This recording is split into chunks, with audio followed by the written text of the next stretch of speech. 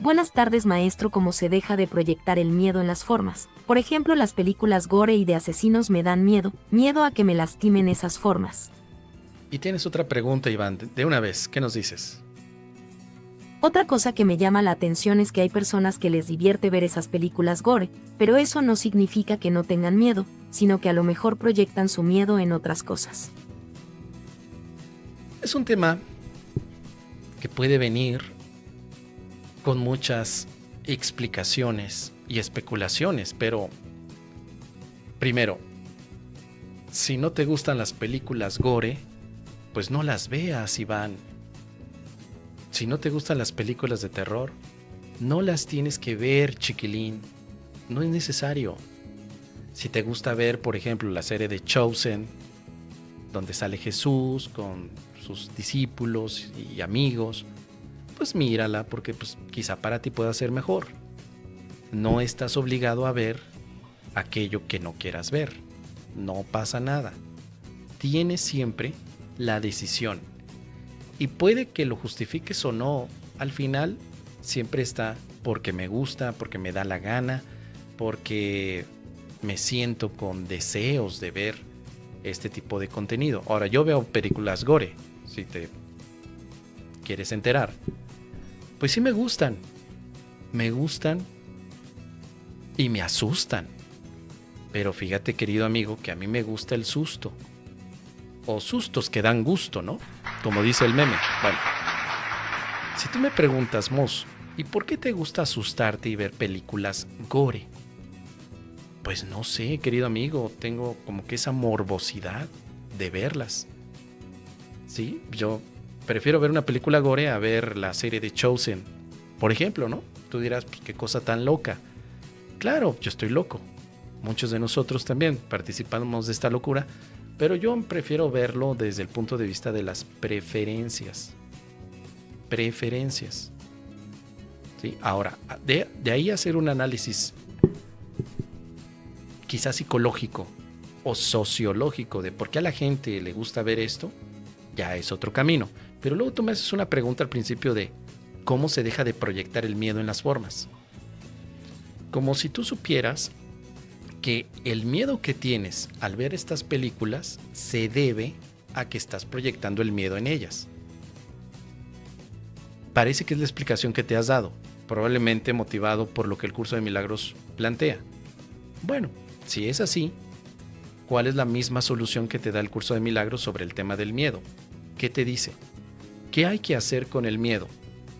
Porque el miedo hemos visto que se puede proyectar, no solamente en las películas de terror, lo puedes proyectar en un aguacate, lo puedes proyectar en un jitomate o tomate, lo puedes proyectar en tu mano izquierda o en tu peyollito, lo puedes proyectar donde quieras el miedo, porque al final el mundo es como un lienzo donde tú echas los brochazos que son proyecciones de tus propias ideas.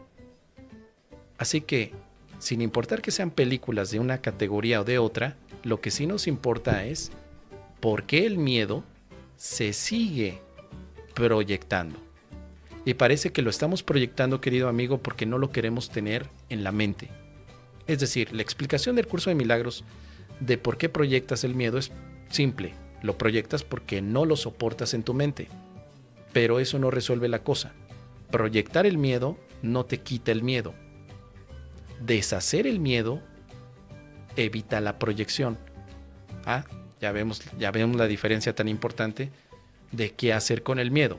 En lugar de estarlo proyecte y proyecte y proyecte y el miedo no está en mi mente, el miedo está en las películas gore, el miedo no está en mi mente, sino en que llegue mi vecino Archibaldo y me cobre la renta, el miedo no está, o sea, en lugar de poner el miedo en otros lugares, primero, te das cuenta que está en tu mente. Segundo, utilizas un proceso de borrado de miedo.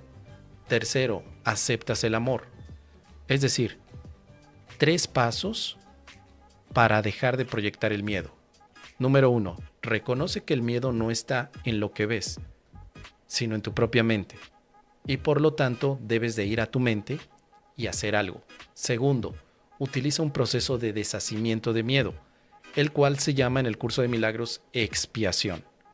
La expiación es, primero, quitarle valor al miedo y segundo, elegir algo distinto.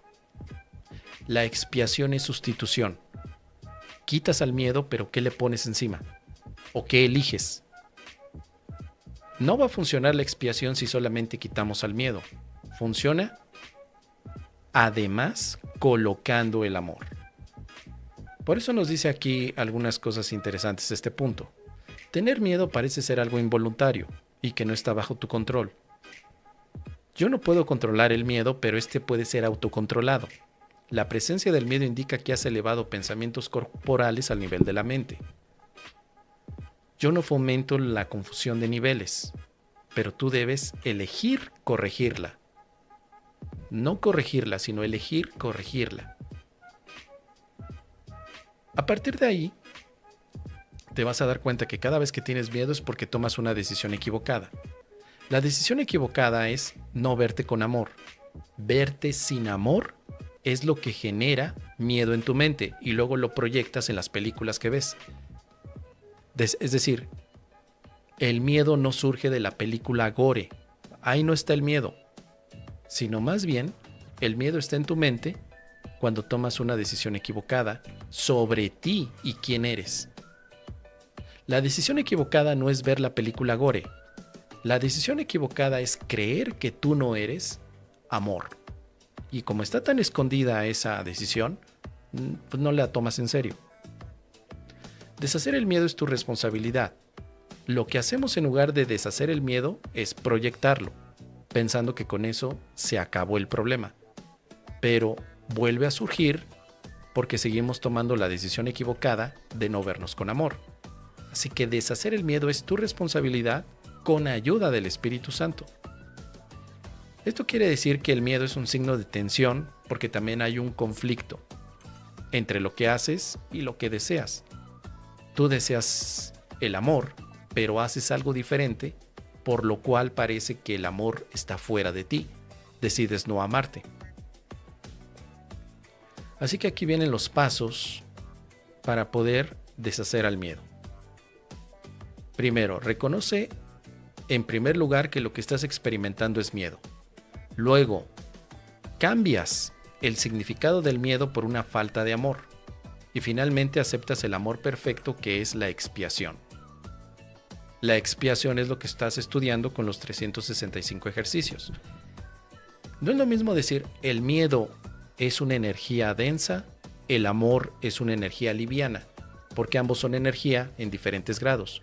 No es lo mismo decir eso a decir el miedo es la ausencia del amor. Ya no hay grados.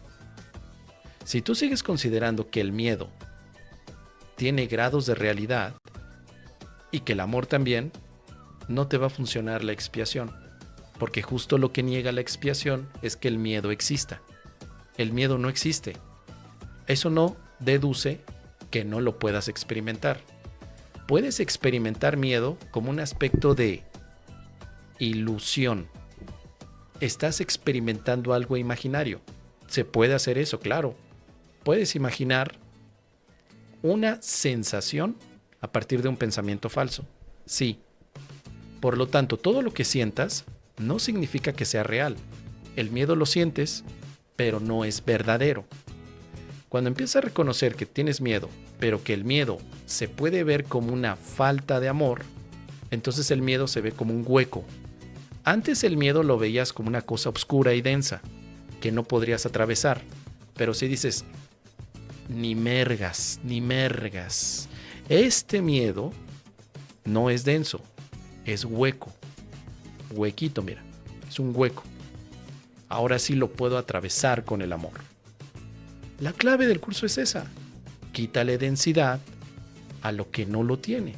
O quítale valor también, importancia.